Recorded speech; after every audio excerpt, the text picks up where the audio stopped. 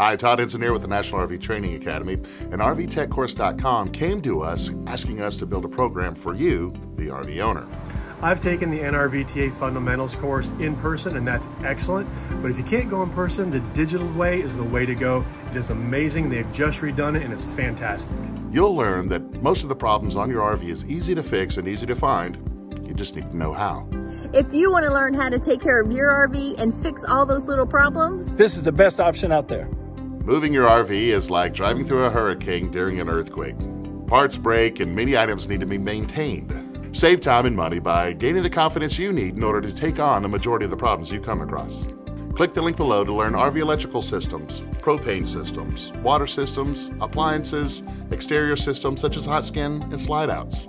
Don't get caught with your RV in the shop. Get the home study course today. Worry about the road, not the repairs.